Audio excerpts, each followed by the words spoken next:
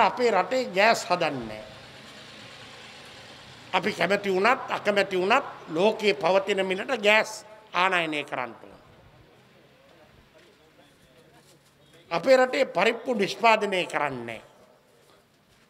පරිප්පු නැතුව ගෙවල් වල කෑම ගන්නේ.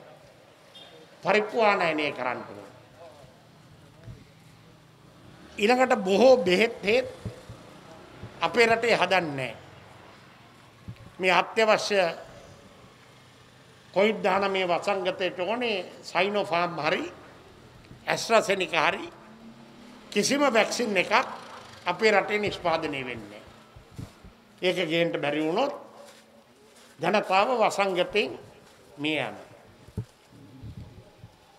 ඊළඟට අපේ රටේ නිෂ්පාදනය ප්‍රමාණවත් නොවන බාන්න. සීනි අල ලූුණු මිරිස් පරිප්පු ආනයනය කරන්න. ඊළඟට දේශීය කර්මාන්ත පවත්වගෙන යාම සඳහා අවශ්‍ය කරන යෙදවුම් අමුද්‍රව්‍ය විශාල ප්‍රමාණයක් ආනයනය කරන්න ඕන. රෙදිපිලි ඇඟලුම් අපනයනය කරනවා. ඒකට ඕනේ රෙදි ටික ගේන්ට ඕනේ වෙන රට ඕනේ. නූල් බොත්තම් ගේන්ට ඕනේ. ඊළඟට ඒ කර්මාන්ත කරන්න ඕනේ. ඊට පසුව ප්‍රාග්ධන භාණ්ඩ ඕනේ යන්ත්‍ර සූත්‍ර උපකරණ.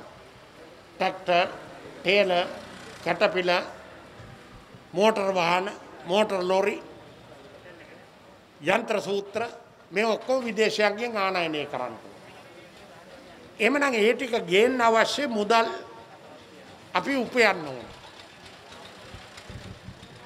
මේ මුදල් ලිපීමේ කටයුත්ත නිසි ලෙස ධෛර්ය සම්පන්නව කළමනාකරණය කළේ නැත්තම් ඒකේ ප්‍රතිවිපාකේ රටේ සමස්ත ලාංකීය ජනතාවට භුක්ති විඳින්න වෙනවා.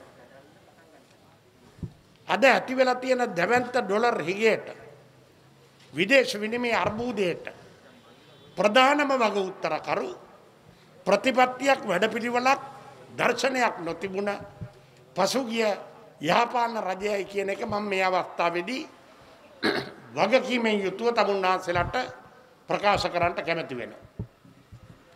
එයට හේතුව තමයි මහින්ද මාත්‍යයා මේ රට භාර දෙනකොට කිසිම ලංකාවේ විදේශ විනිමය අර්බුදයක් තිබුණේ අටයි දසම දෙකක් ඇමරිකානු ඩොලර් බිලියන ජාත්‍යන්තර සංචිතයක් ඇති කල්ලා තිබුණ. යුද්ධ නිම වුණාට පසු රට මුඩුබිමක් වශයෙන් තිබුණ රට වැඩබිමක් බවට පත් වුණා. සංචාරකයෝ තොග වශයෙන් එන්න පටන් ගත්තා.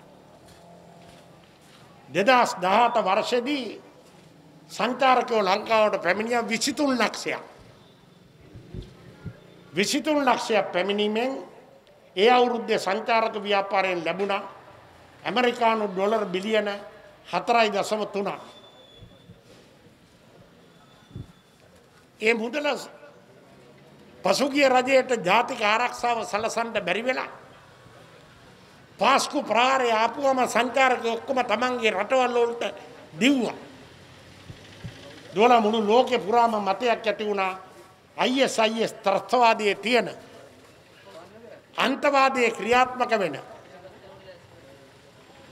විශ්වාසයෙන් යුතුව ගමනක් යන්න බැරි රටක් ලංකාව කියන.